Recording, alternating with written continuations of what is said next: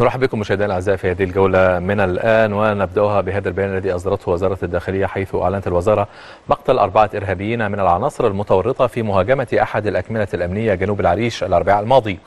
وذكرت الوزارة أن عمليات المتابعة رصدت اتخاذ عدد من تلك العناصر أحد العقارات الكائن بمنطقة أبو عيطة بالعريش مأوى لهم حيث تم مداهمة العقار وتم تبادل لإطلاق النار.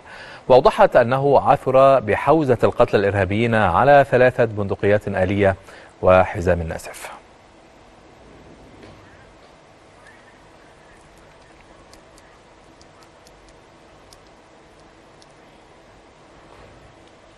الحديث أو التعليق على هذا الموضوع ينضم إلينا هاتفيا سيادة اللواء فاروق المقرحي مساعد وزير الداخلية الأسبق. سيادة اللواء نرحب بك على اكسترا نيوز وكيف قرأت واستقبلت هذا البيان التي اعلنت الذي أعلنت فيه وزارة الداخلية مقتل والقضاء على أربعة إرهابيين جراء هذه العملية الإرهابية التي حدثت أول أيام العيد، هذا البيان ربما يأتي بعد بيانات عدة أعلنت فيها الوزارة القضاء على خمسة إرهابيين في أول أيام هذه العملية. وبعد ذلك أعلنت القضاء على 14 عنصرا إرهابيا ثم بالأمس أعلنت عن القضاء على ثمانية عناصر إرهابية أيضا. أهلا بك يا أستاذ همام. تحياتي لك ولأسرة إعداد برنامج الآن. يا أستاذ همام الشرطة المصرية والقوات المسلحة المصرية هي درع وسيف لهذا الوطن. ما حدث من الجماعة الإرهابية أول أيام العيد وفجر يوم العيد لن يمر مرور الكرام ولن يكون ثورة غضب تكون نتيجتها هذا العدد الذي تجاوز الواحد وثلاثين إرهابيا خلال ثلاثة أيام فقط. هي المدة التي من تاريخ تلك العصابة الإرهابية وقامت على فعلتها النقراء بقصد تنغيص أو بقصد إحباط الشعب المصري في فرحته بيوم العيد الفطر المبارك فهذا ما فعلوه وإنهم يجنوا ثمار ما فعلوا هذه العصابة الإرهابية التي لا تريد الخير لمصر ولا تريد الخير لهذا الشعب وهم ليسوا بمصريين بل مقيمين بيننا. أو يسكنون بيننا ولا علاقة لهم لا بالوطن المصري ولا بالمصريين عموما. وهذا الجهد الذي يقوم به رجال الأمن بمساعدة أجهزة جمع المعلومات المختلفة سواء الأمن الوطني أو الأمن العام أو المخابرات الحربية أو المخابرات العامة فهذا هو جهد المواطن السيناوي الأصيل المحب لبلده والمحب لوطنه والذي يقف بالمرصاد لهؤلاء الإرهابيين لتصفيتها الشعب السيناوي فالشعب السيناوي معروف بوطنيته وحبه لوطنه ووقوفه بجوار أبناء وطنه ويعمل منذ القدم على تطهير سيناء الحبيبة من كل هؤلاء الإرهابيين. وبإذن الله سيتم ذلك في الأيام والساعات القادمة هذا الجهد الذي يقوم به رجال الأمن العام نعم. هو جهد مشكور وثأر حقيقي لشهدائنا الأبرار الذين قدموا حياتهم في سبيل هذا الوطن في صبيحة يوم العيد نعم سيادة اللواء جاء في بيان الداخلية أن هؤلاء الإرهابيون أو الإرهابيين تحصنوا في أحد العقارات المدنية الموجودة في هذه.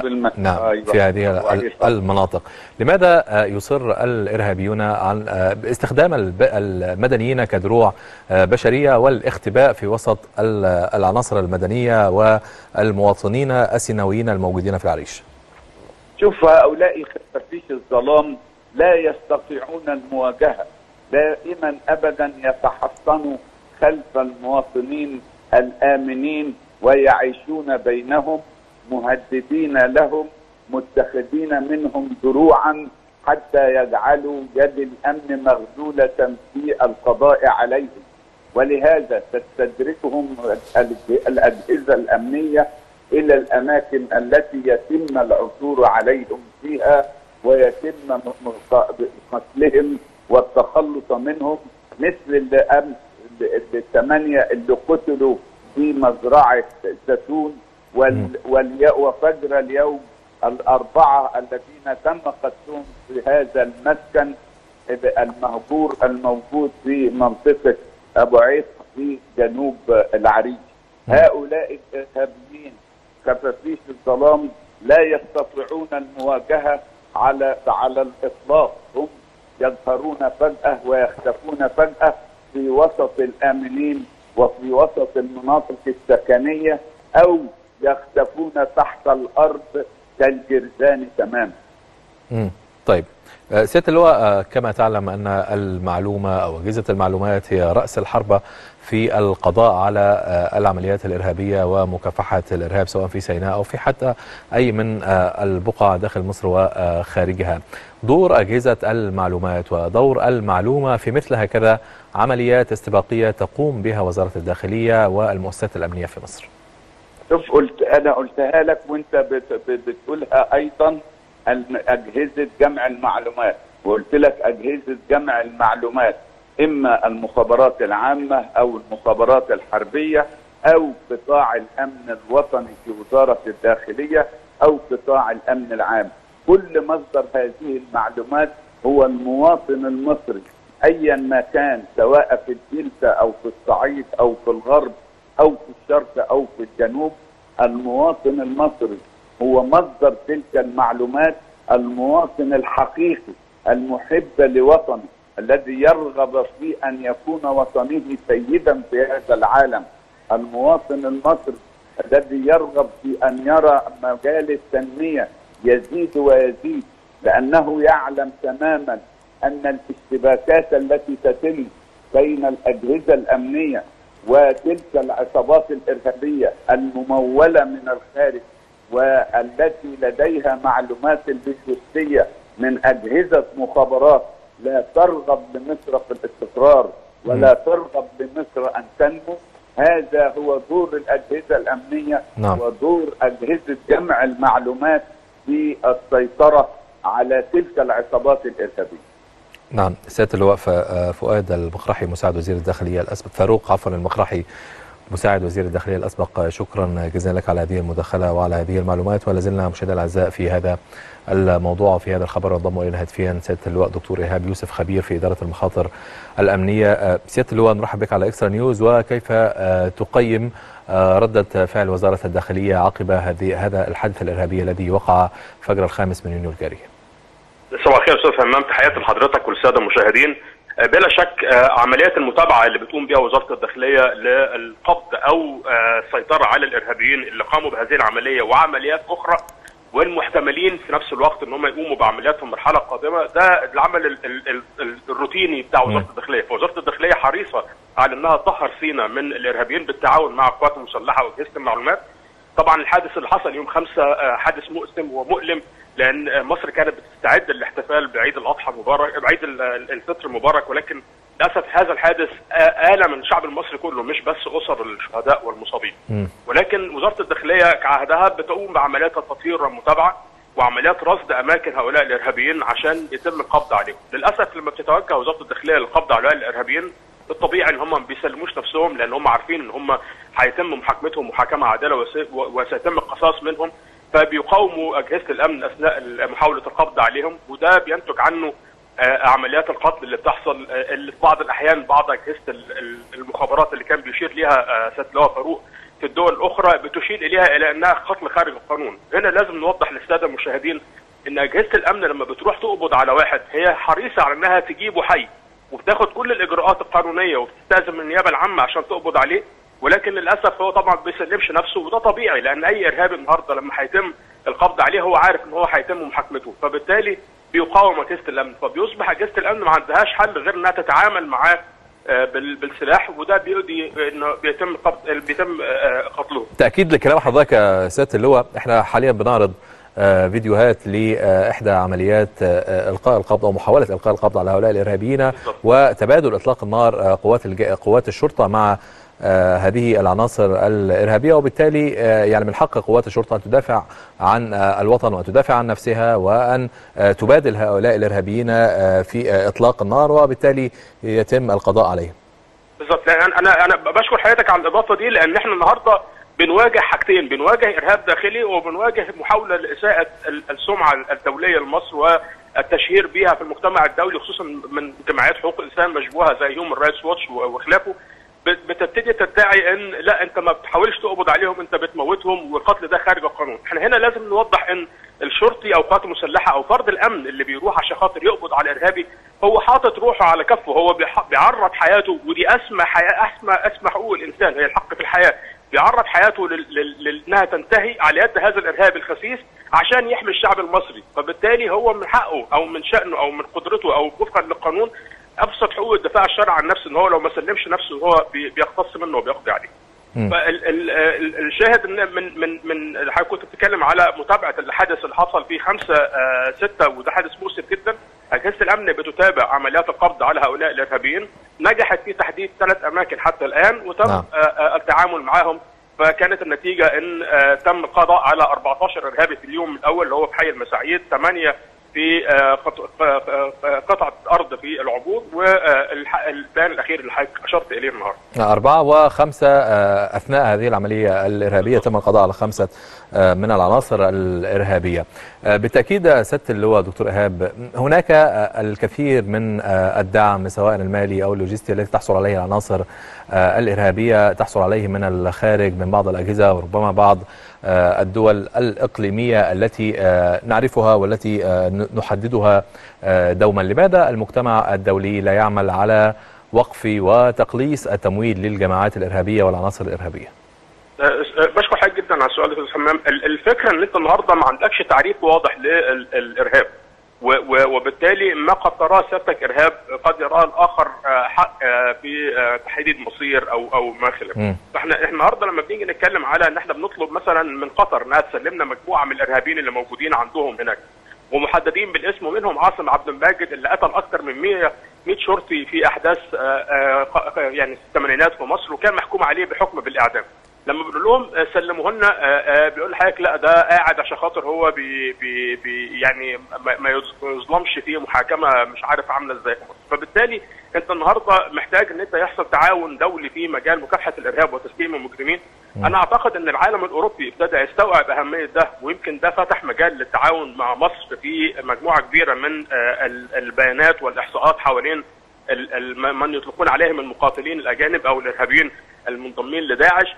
ولكن ما زال بعض الدول العربية للأسف ودول في المنطقة بنتكلم على تركيا وقطر بالتحديد بيدوا دعم لهؤلاء الإرهابيين سواء دعم لوجستي أو دعم بتوفير مكان آمن إن هم يقدروا يعيشوا فيه ويخططوا لعمليات إرهابية بتحصل في مصر.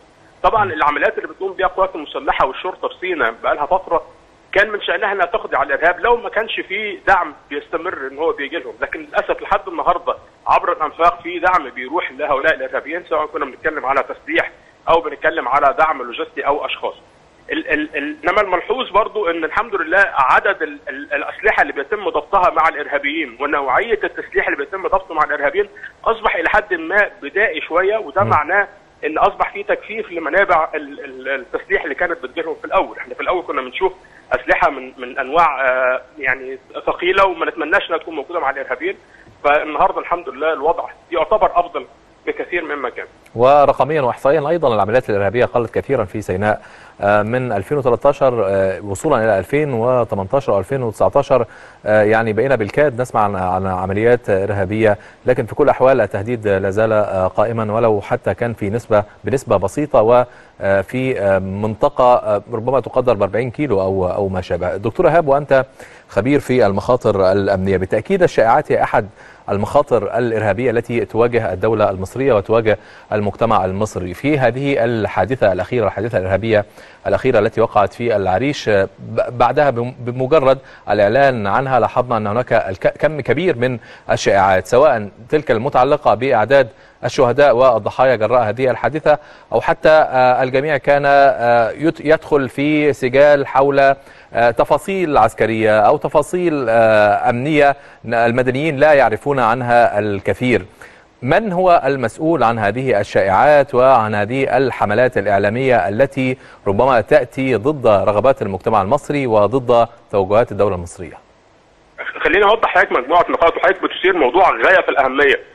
اولا ال- ال- الحديث عن ما لا نعلمه أنا بعتقد إن هو جريمة في حد ذاتها، يعني أنا لما أنا اتكلم على موضوع أنا ما أعرفش فيه حاجة وأدلي بدلوي وأفتي وأسرد معلومات قد تبدو للآخرين إنها حقيقة، أنا بعتقد إن أنا كده برتكب جريمة في حق المجتمع اللي أنا بعيش فيه. أنا واحد من الناس اللي كان ليها شرف مكافحه الإرهاب في الثمانينات ولو ولو بنبص على الضابط أو الفرد اللي بيكون موجود ساعة إطلاق النار ده ده شخص بي- بيشعر بمشاعر مش ممكن تقدر تقيمه حضرتك قاعد في التكييف على كمبيوتر وقاعد بتتكلم فيه كلام آه، ملوش معنى. فهنا إحنا بناشد الإخوة المواطنين أو الغرباء اللي هم ما عندهمش معلومات دقيقة إن هم يمتنعوا عن الإدلاء بدلوه ده ده نقطة. النقطة الثانية إن إحنا لما بنيجي نستقبل معلومة عبر وسائل التواصل الاجتماعي إحنا مش عارفين مين اللي طلعها. قد يكون البروفايل أو الصورة اللي موجودة دي بتاعت شخص مصري ولكن هذا الشخص ممكن يكون من الأعداء في دولة أخرى قاعد بيشتغل تبع اجهزه المخابرات بيبث لحضرتك معلومات قد تؤدي بتفكيك الجبهه الداخلية. وكلنا مؤمنين إن النهارده الحالة النفسية للمجتمع هي الأساس اللي ممكن تبني عليه ال- النجاحات في المرحلة القادمة. وعشان كده أجهزة المخابرات في الدول الأخرى ابتدت تستغنى عن الحروب التقليدية بأنها تعمل ما يطلق عليه الحروب النفسية.